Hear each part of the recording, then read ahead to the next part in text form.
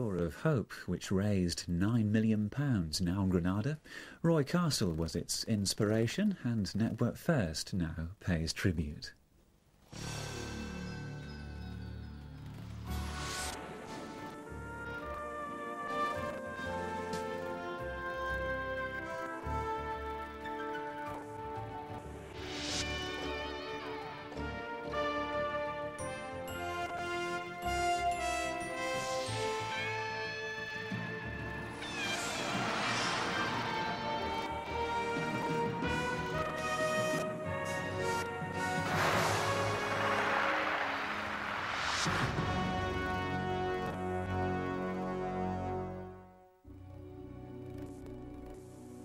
They're a disease which every 30 seconds kills someone somewhere in the world.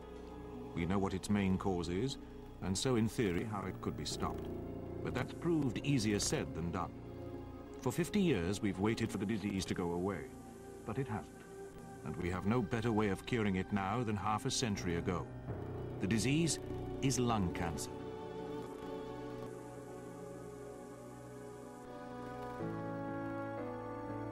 In 1994, it claimed the life of one of our most talented entertainers, Roy Castle.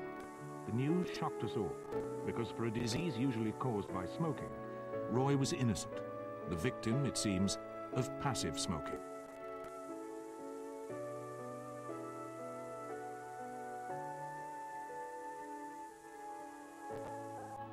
One of the reasons that I developed this cancerous growth in my lung is because whilst playing the trumpet in smoky rooms, I inhaled great gulps of air, and none of it's filtered.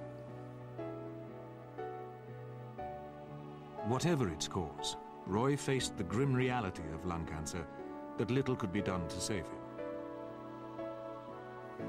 This shouldn't happen to you. He said it should not happen to people like you. But it has.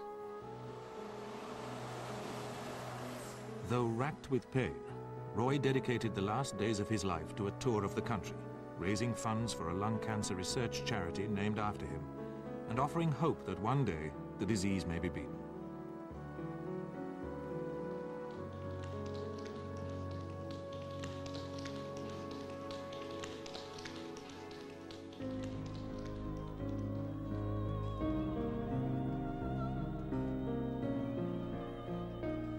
There's nothing in this for Roy. Roy. Roy knows that. It's for other people. Roy said it's for our children, our children's children. And he's given himself, he's, he's given his name to this appeal, he's given his commitment. And, and I think it's not unreasonable to say he's, give, he's giving his life for this campaign. And Roy, you're fantastic. If I was Roy, and if it had happened to me, you'd shut yourself away with your family and think, right, that's it. I'm not interested in furthering this for anybody else. You know, I'm, I know I, I now have an end to my life and I can see it coming. And here are my family. I'm going to shut the doors. I'm going to spend the last few weeks or months of my life with them. There's so many people behind it, so many people doing such a lot. How, how should I say, oh, I can't do it, I'm not well enough, you know. There must be many people who are suffering like I am, and they're also doing their bit, and so am I. By going public on his lung cancer, he normalised what up to then had been a taboo sort of disease. And a lot of people were very, very grateful for that because they, some people wrote to him and said they'd really felt unclean and hadn't liked to talk about it, but he'd made it very normal.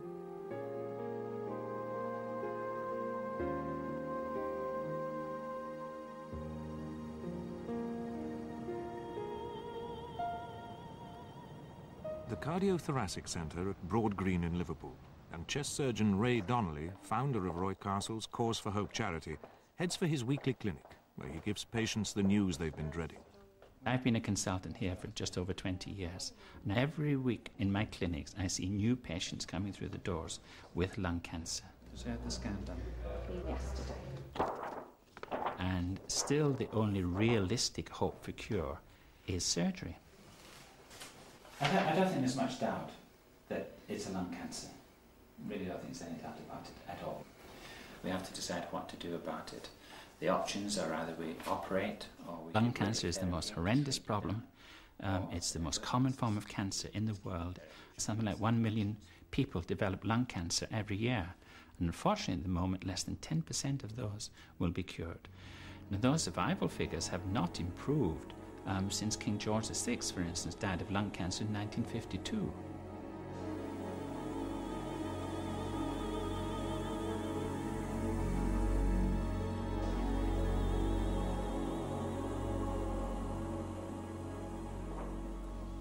One of my patients said that the two most frightening words in English language were lung cancer. And it is a very unpleasant, lethal disease. And it is quite hard knowing that there's not very much you can do to cure them. Well, you have a shadow, but we don't know exactly what it is. Um, we do know that you have got a lump there in the lung. Okay? There's a possibility that it's a cancer. And if it is, then we'll have to decide what to do about it. And then there are one or two other possibilities in large glands and, and, and, and so on. You need to have a couple of tests done yet. You need to have what's called uh, a bronchoscopy. We have to look down your throat with a light and a camera and just check out that part of the lung where the shadow is. You also have to have a scan, um, a CAT scan, where we look at the lung in, in, in, in, centimetre intervals all the way down in minute detail and look at the whole of the lung. And when we've done those two things, we will have a much better idea exactly what is there and then what we should do about it. Hmm? Had you considered the possibility it might be a cancer? No. Not at all? No, never. Not at all. You have got a lump there in the lung. There's a possibility that it's a cancer. It's a cancer. Cancer.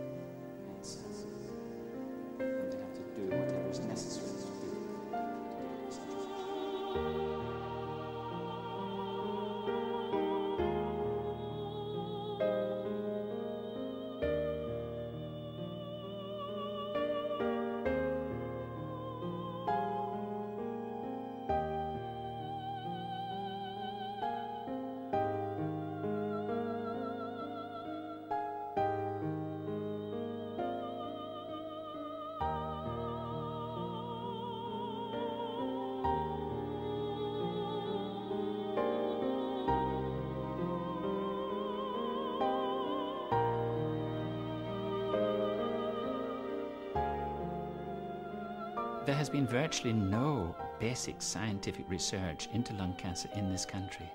There just hasn't been funding for it, and people have not been tremendously interested in it. The whole emphasis has been put on stopping people smoking. It is true we must stop people smoking, very important, but we must put some resources into understanding how the lung cancer develops.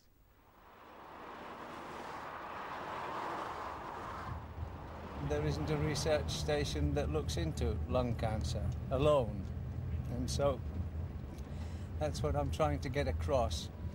Because the, uh, the head lung surgeon of Liverpool, Ray Donnelly, it's his brainchild and he's so frustrated that he has to tell people like me now at this stage there's nothing else can be done. When he knows that with the proper research there is something can be done and uh, a lot of pain and suffering can be taken away from from our future generations and that's what we're trying to do.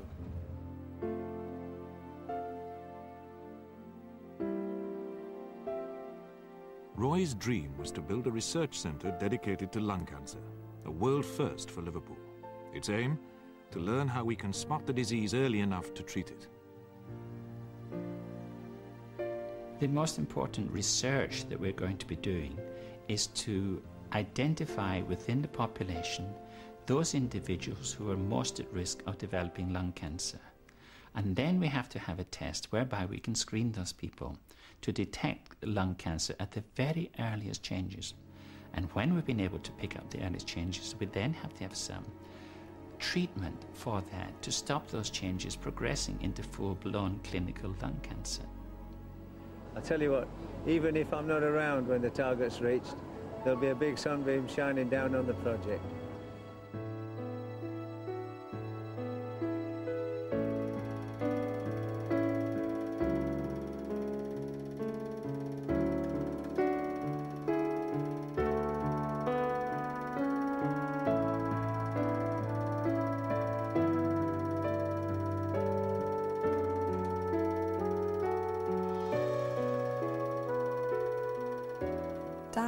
Lung cancer is not a pretty sight.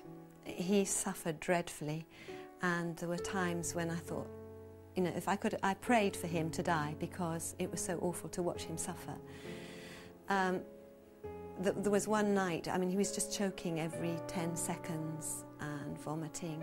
I couldn't breathe, and he was just in an appalling state.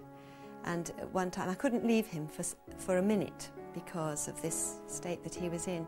And at one time, uh, Ray Donnelly phoned, and I said, Ray, listen to him. How can he go on like this? What can I do for him? I was desperate. I think it was the lowest point for me. And he, Ray just said to me, Well, I can only say, Fiona, it's worse for you than it is for him. Because on that amount of morphine, although he sounds really bad, he's not experiencing the pain that he sounds as if he's experiencing.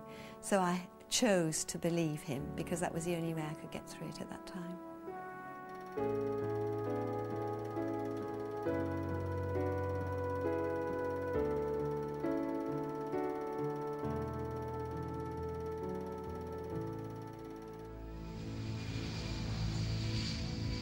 Since his death, the Roy Castle Cause for Hope Foundation has spectacularly continued raising money for the research centre in Liverpool. Following his lead, his widow Fiona has thrown herself into the international spotlight, spreading the warnings about the disease that killed Roy and keeping alight the glimmer of hope that one day the disease may be beaten.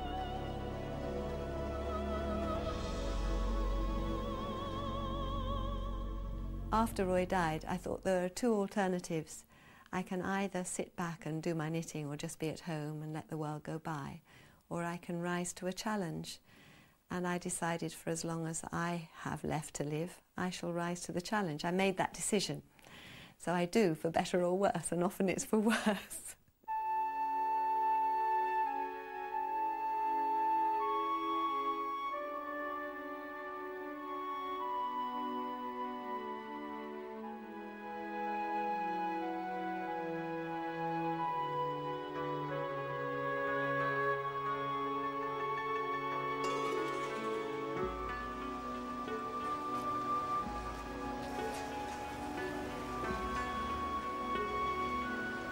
A recent world tour for the foundation took Fiona to Hong Kong, a window on Asia.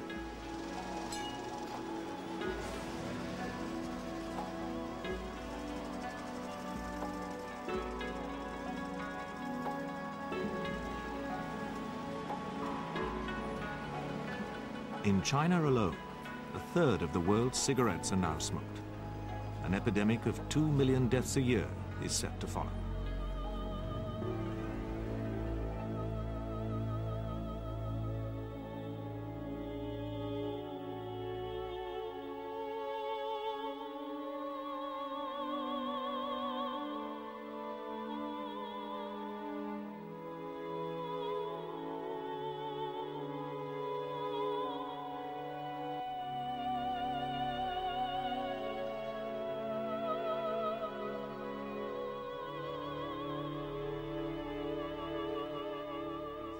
The tour gave Fiona the chance to meet patients and families facing up to the terrible realities of lung cancer. This is Mr. Locke.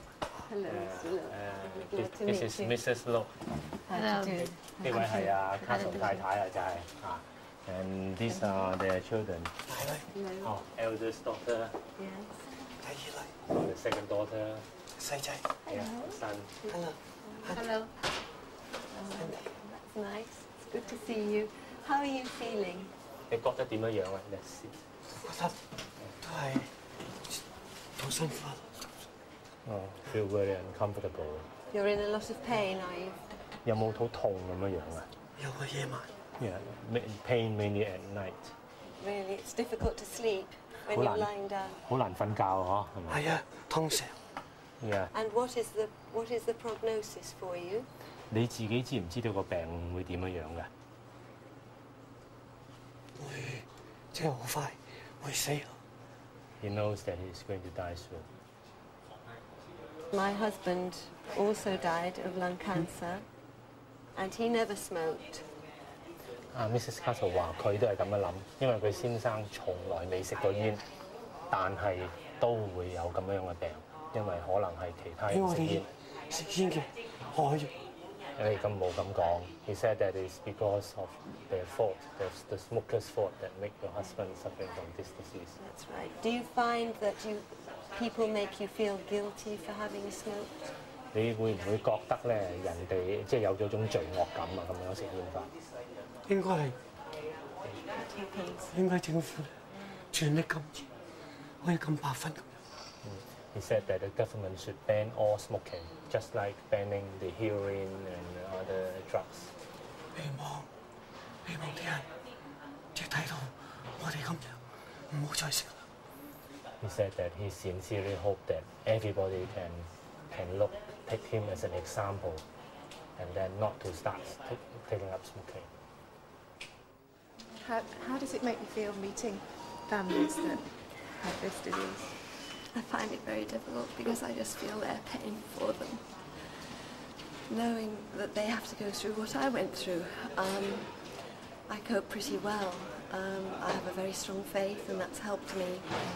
But every time things, the bad things happen to other people, I want to take it on for them because I've gone through it and I know how to cope. And uh, I just see that young family with so many prospects and so many broken dreams so many cancelled plans. It's um, the loss of expectation that they're experiencing right now.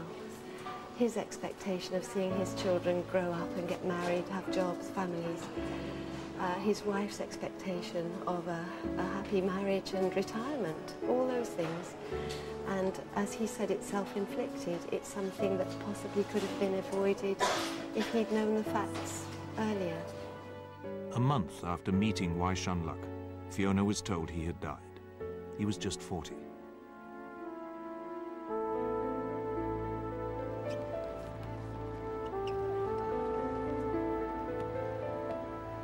This shouldn't happen to you.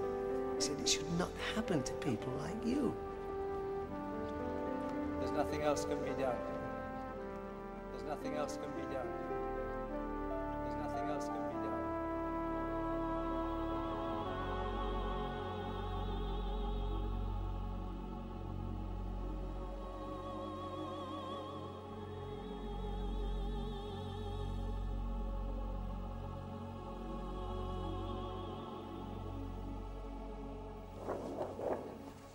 Roy's lung cancer was unexpected, but many smokers who run much higher risks still believe it will never happen to them. The tragedy is that it's just all too common. Hello, come sit down. I know, I know. Hello. How's darling? Come have a seat.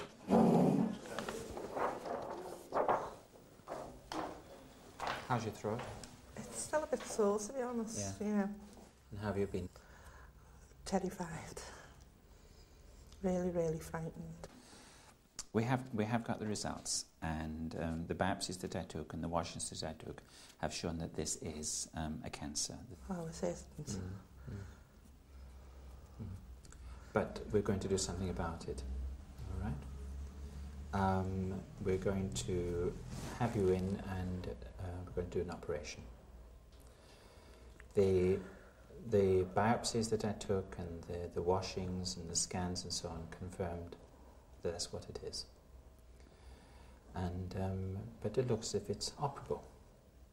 And so what we will plan to do is get you in as quickly as we can with a view to surgery. Now we never know until we're in there the exact extent of what we're dealing with. We can get a good idea from the scans and from the examination that I did. Um, but it's not until we're actually in there that we will know the full story and that it is definitely operable. All right? At the moment, it looks as if that's what it is and that you need an operation.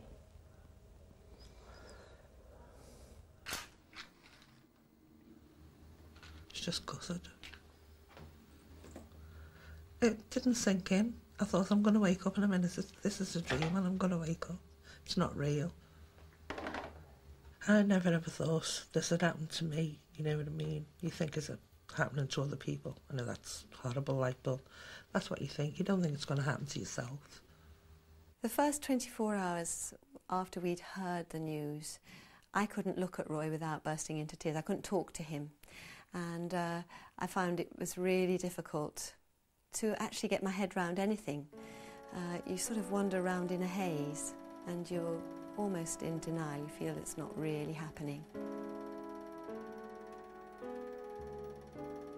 The worst thing was having to tell my youngest son, Benjamin. And uh, I had to sort of break it easy to him what had happened, and it took a while for it to, to really go in for him. And then we all sort of cuddled up together and wept again. And then I had to phone my son in Norway. He's, uh, he's a missionary, and I was really strong. I thought, I'm very strong this time, I'll just tell him.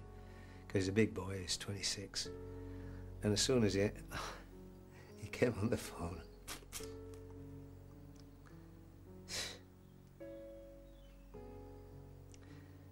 couldn't speak.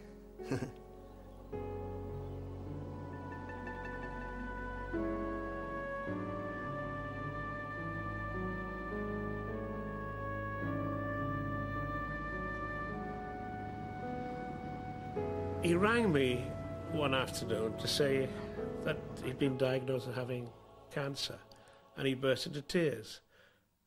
And I didn't know what to say to him. What can you say? And then I put the phone down, and then about half an hour later, he rang up to apologise for breaking down. He was that kind of bloke. It's just that um, it's like saying goodbye to somebody in a sense. When, when you're not ready.